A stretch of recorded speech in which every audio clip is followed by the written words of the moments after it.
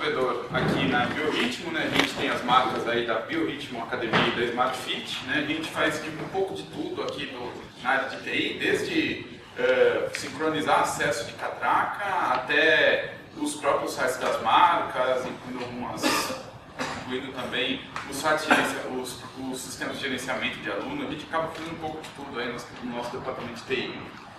Né? E 99% disso é com o Uh, sobre teste de APIs, eu já tive, eu já fiquei muito dos dois lados desses testes. Eu já testei, já tive bastante casos de testes de APIs que eu precisei fazer para outras pessoas consumirem, muitos casos de aplicativos mobile. Já também uh, fiz bastante, já tive. Tá trancada a porta?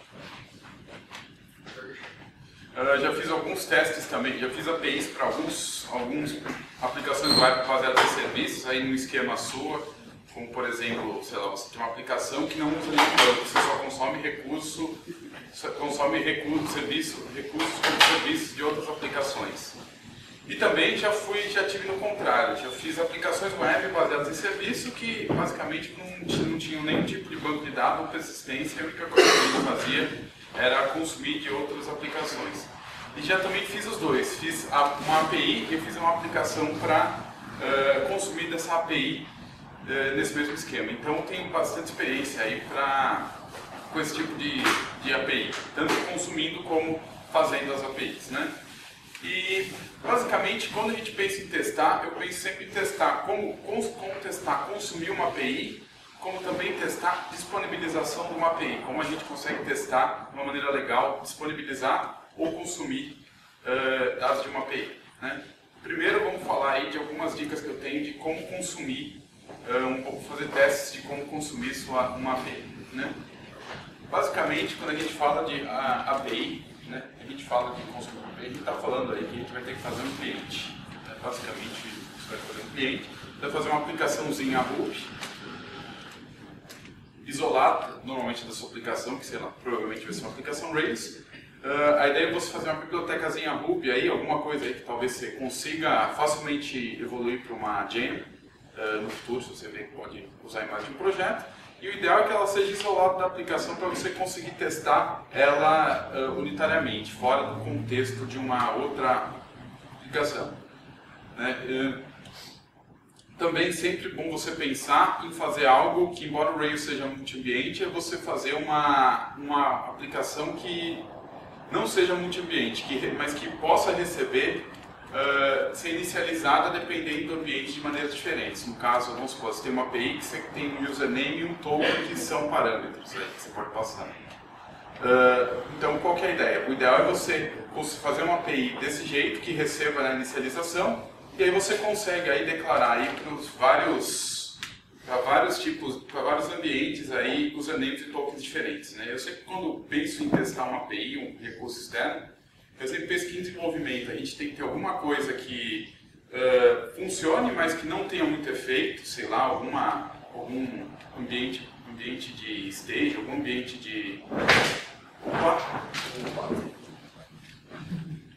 Algum ambiente de, de stage, algum ambiente assim que tudo que tenha lá possa ser feito, desfeito, sem grandes problemas, né? No ambiente de teste, o ideal é você não bater lá nunca, mas se você bater, você pode bater pelo menos uma ou duas vezes para fazer, para pegar como exemplo. Mas o ideal é você não bater, porque teste tem que ser uma coisa totalmente isolada. Né? E em produção, claro, você tem que ter um serviço que realmente funcione. Então eu sempre gosto, quando desenvolver alguma coisa, uh, receber os parâmetros daquele ambiente no, na inicialização. Né? E claro, quando a gente fala em request, em construir uma API, basicamente a gente vai fazer request HTTP. Esse aí é o core do seu, do seu teste. Vai testar esse request HTTP, você vai ter que fazer algum jeito de você mentir, falar que esse, mentir esse request HTTP falar assim, olha, finge de conta que você vai bater na sua URL e devolver isso aqui. Basicamente, se você vai fazer um request HTTP, você muito provavelmente vai usar NetHTTP. É uma biblioteca que já vem junto com o Ruby, não precisa incluir nenhuma gem. E, e ela já está há bastante tempo, é razoavelmente estável, isso aqui não tem nenhum, não vai aparecer nenhum bug muito bizarro. Né? Uh, basicamente seu feijão com arroz aí. Né? E, bom, aqui é um exemplo básico aí de uma API que eu vou consumir. Vamos supor que eu tenho que fazer uma aplicação que eu vou consumir todos os repositórios de GitHub e colocar no terminal. Basicamente, essa, esse código Ruby aí faz isso. Né? É, tem algumas linhas a mais aí, poderia ser mais simples, mas como a, o GitHub usa HTTPS, eu tive que colocar um use SSL true ali e mais umas coisinhas a mais para funcionar. Mas basicamente, pensa que isso eu estou fazendo basicamente um get, passeando um JSON imprimindo aí os repositórios que eu tenho. Né? Basicamente esse vai ser o código aí que a gente vai usar aí durante a palestra, né? uh, mostrando os diversos tipos de testes diferentes, de maneiras diferentes de você uh, fazer um fake, respostas fake aí de uma API. A primeira maneira, que acho que é a maneira mais simples e mais fácil, que provavelmente alguém já, já todo mundo aqui já viu uma vez pelo menos, é usando o Fake Web Webmock, que são aplicações, são, são mocks do NetHTTP, que basicamente funcionam assim. Você fala para eles, eles vão mocar o NetHTTP, eles vão, você vai falar para eles, olha, uh, tem essa URL aí, quando acessarem você devolve esse corpo com esses headers e, e caso alguém faça alguma outra coisa, você, você avisa que você está, que, caso alguém use alguma URL que não está que não está descrita lá, levanta um erro aí falando que você está fazendo uma, está tentando fazer alguma coisa que não pode, né?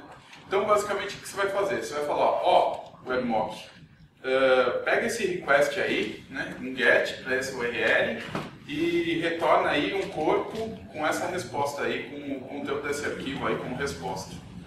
Né? E aí quando você fizer o request, ele vai devolver exatamente aquele corpo, aquele, isso que você descreveu ali. Né? Tá, beleza, mas se vamos supor eu, eu fiz um typo e a request, eu não coloquei o endereço da request certo, para levantar uma exceção. Ele vai dizer assim, olha cara, você tentou acessar aí, mas eu não tenho nada com isso. Coloca esse código aí e coloca o código que você quer que eu vou conseguir estubar direitinho o que você mandou. Aí ele fala, o que você mandou para esse aqui.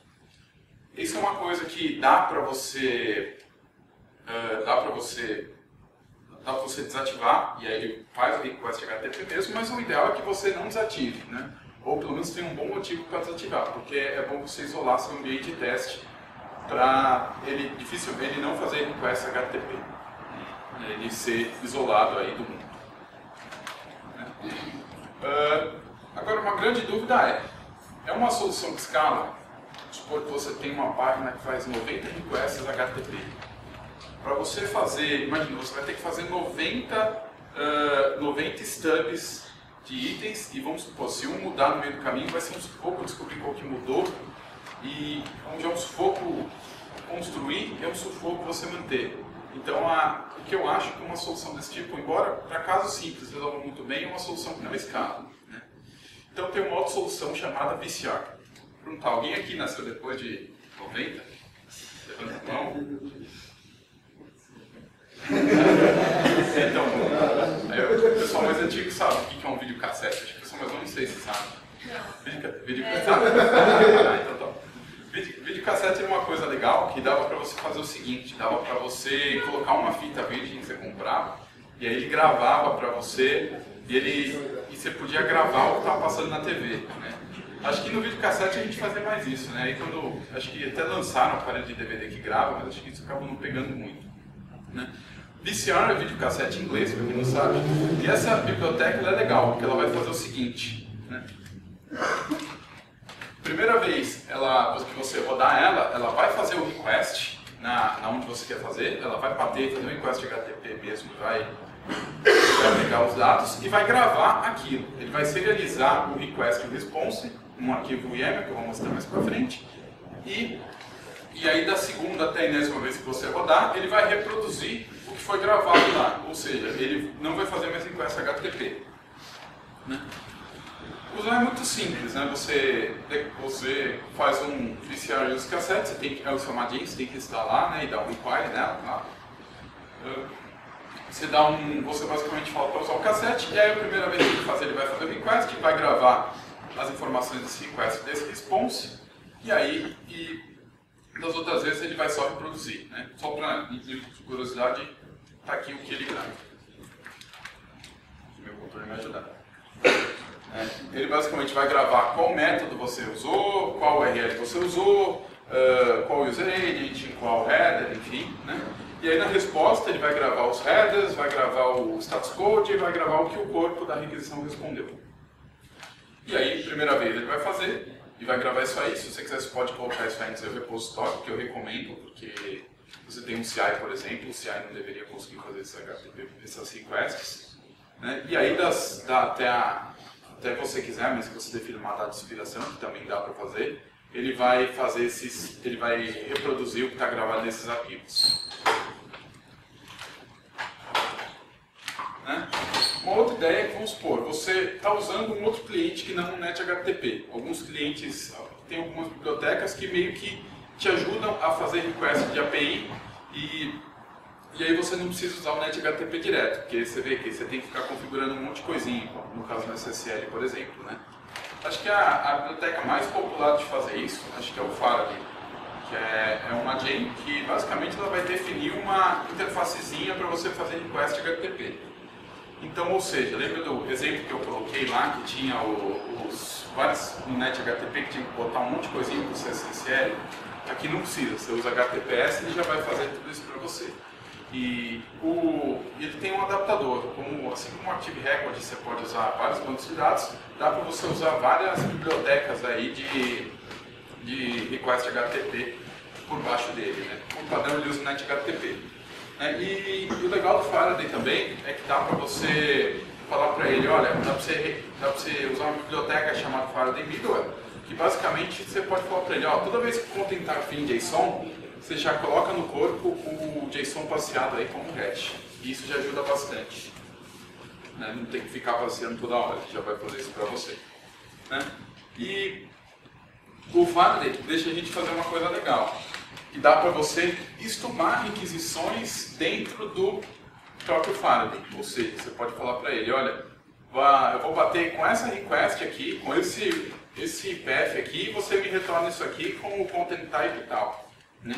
E aí ele já faz isso pra gente, não precisa ficar usando NetHTTP. O que é bom que, vamos supor, você não quer usar o NetHTTP, você não vai precisar ficar mudando aí o seu web, webmock ou fake web, que nem sempre que acho que funciona com NetHTTP e com algumas outras, que eu não sei quais, mas normalmente com o NetHTTP eles funcionam bem.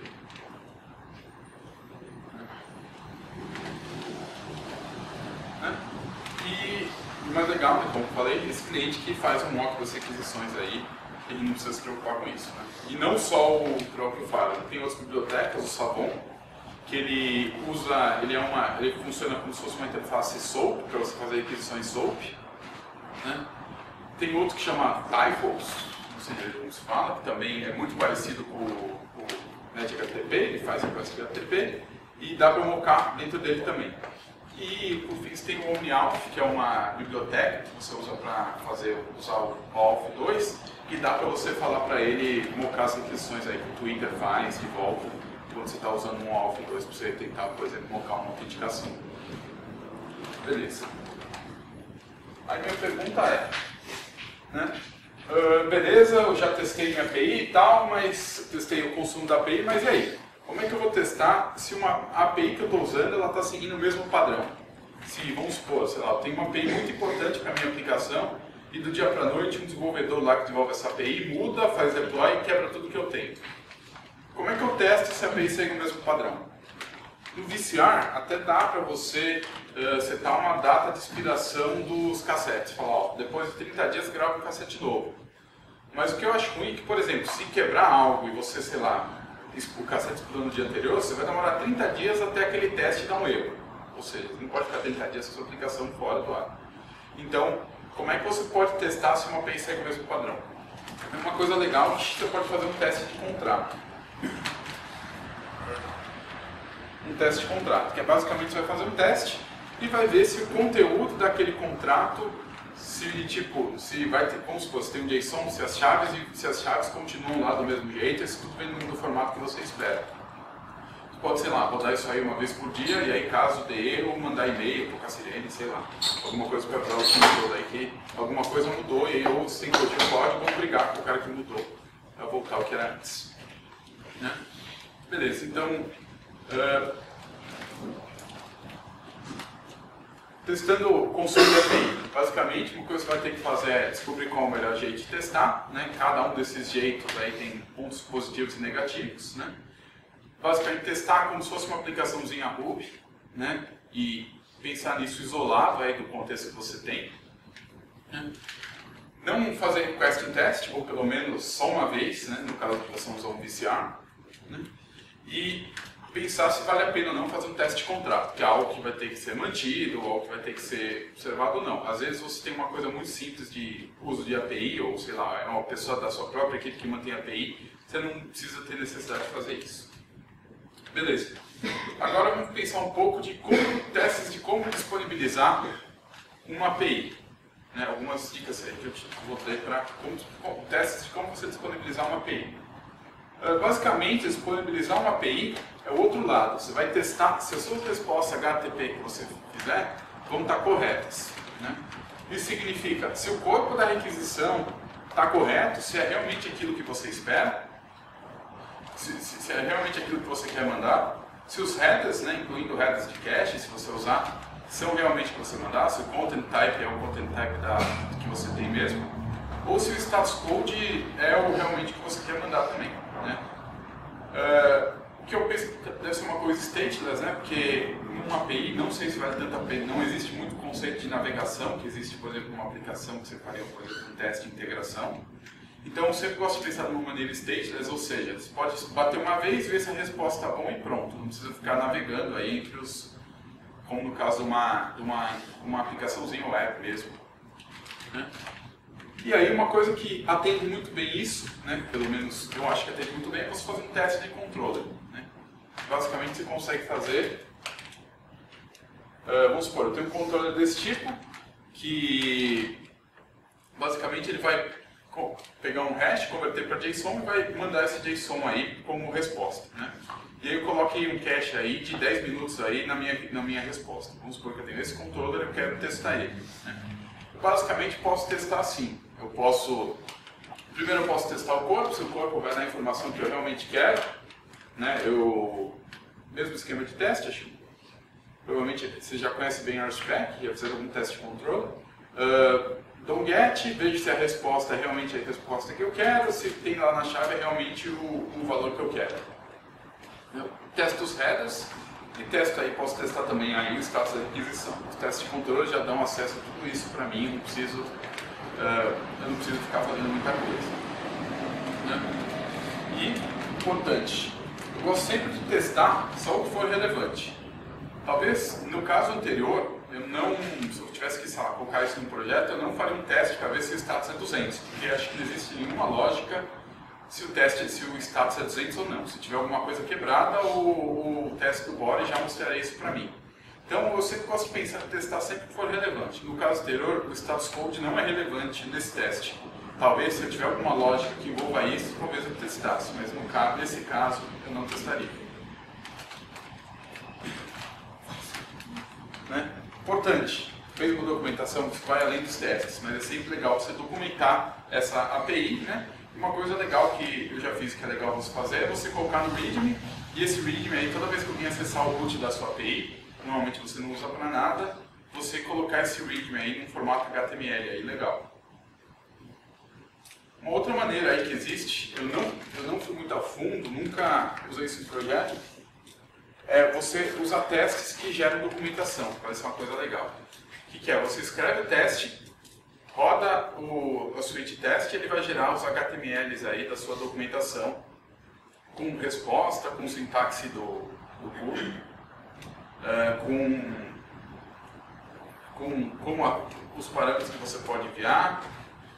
Né? E, esse, e, isso é legal que já gera HTML direitinho, daria até para você colocar junto com a sua aplicação também aí, para passar para a documentação de quem for lançar para quem for usar. Então, beleza, resumindo. Uh, sempre eu gosto. API, normalmente eu testo um teste de controle, que acho que já, já, dá, já me dá todas as coisas que eu preciso para testar, né, me dá acesso a um monte de coisa da requisição. Uh, penso sempre em testar header e status code, quando o header e status code for relevante, claro. E por fim, importante sempre manter a documentação atualizada, para quem usar não ficar, não perder, sei lá, uma tarde tentando ver por que, não funciona direito, quando na verdade você mudou alguma coisa na atualização da documentação. Beleza? Nós estamos contratando aí, acho que tem quem aí da equipe? Levanta aí, pessoal. Quem está contratando aí, então se quiser aí vir, se estiver procurando uma oportunidade não, vai, pode vir falar com a gente. Né? E é isso aí, pessoal. Uh, os links relevantes eu coloquei aí nessa URL, que estão todos os links aqui nessa palestra, incluindo os slides, todas as bibliotecas que eu falei aqui. Meu Twitter é esse, GitHub, e-mail, blog, sei lá. É isso aí, muito obrigado.